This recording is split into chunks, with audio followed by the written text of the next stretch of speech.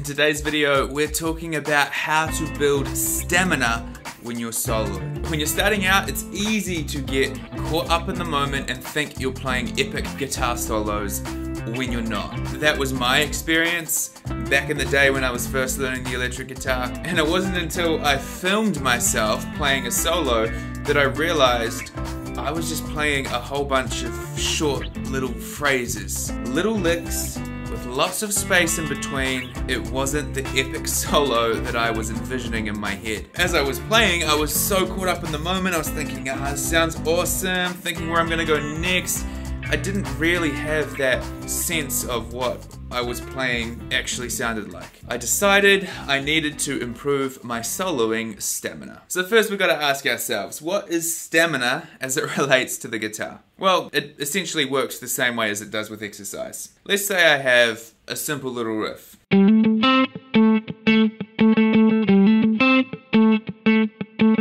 It's not hard, but if you're starting out and I asked you to play that for five minutes with zero mistakes, that might be a different story. I wouldn't be phased by that, but I've got a lot more stamina when it comes to playing licks like this on the guitar. When you're starting out and you don't have that stamina, playing the same lick for five minutes without making any mistakes might seem like a bit of a task.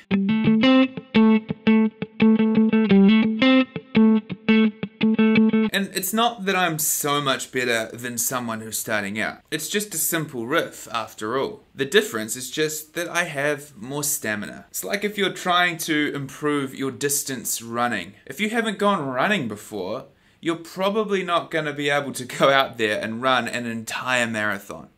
Maybe you start running one kilometer every day. Maybe the next week you run 1.1 kilometers small increments.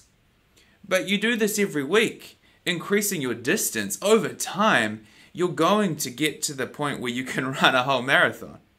You've improved your stamina. What seemed really scary because of the volume of distance you had to run, it's not it's not as big of a deal anymore. It's the same thing when it comes to guitar playing. So the idea of stamina is really important to keep in mind for all aspects of our guitar practice. You know how people do sets at the gym? They might do three sets of 10 reps rather than 30 reps in a row. It's important to keep this principle in mind when you're practicing. If you're working on a riff, if you're working on developing something, don't just repeat it again and again with no breaks. Let's say I was working on this riff. Let's say I was working on that. Instead of doing this,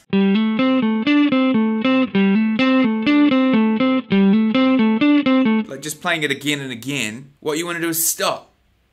Take a breath between takes. Allow yourself to reset. Otherwise, you'll drain your stamina, get frustrated with yourself, and find you start making a whole bunch of mistakes.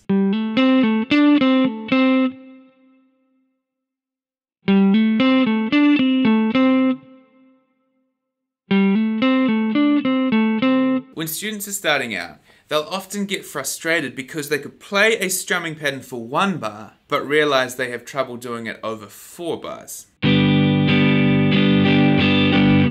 That's one bar. Maybe the student's nailing that strumming pattern over one bar, but if they try and do it over four bars,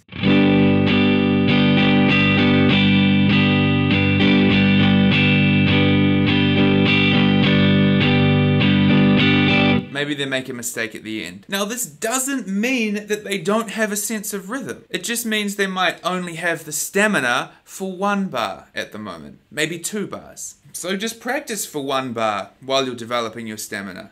Then go to two bars. Then go to three bars.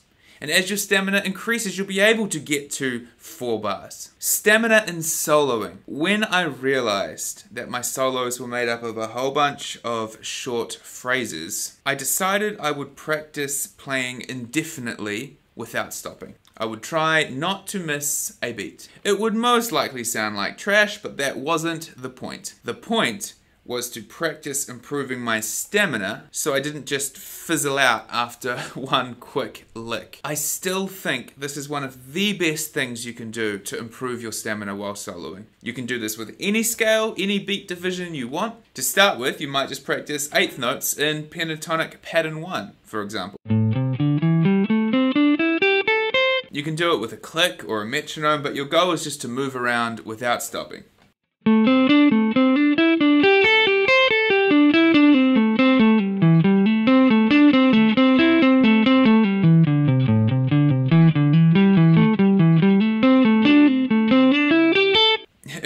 Confident with that, you might try triplets while moving through all five patterns.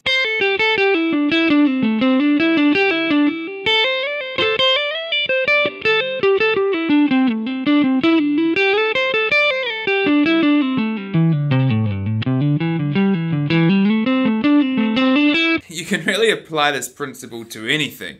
The important thing is that you don't stop. So let's talk about some variations that we can do to this not stopping exercise. Once you've gotten good at playing indefinitely without stopping, here are some things you can do to make it a little harder. If you're practicing with multiple positions, try using no more than three strings before you shift to another position. What this will do is force you to think about moving horizontally around the neck. Think about targeting certain notes or certain chord tones on key beats. Playing non-stop means there's no variation in the rhythm, but that doesn't mean we can't use other melodic or harmonic tools to create structure and variation. Try practicing using pairs of strings. This will force you to practice moving horizontally within the very limited context of a specific string set. There are probably endless variations you could do with this exercise to limit yourself and force creativity. So leave a comment if you can think of another great variation we could use to practice this way. Leave a comment, like the video, subscribe to the channel, let me know what you want to learn and I'll catch you guys next time.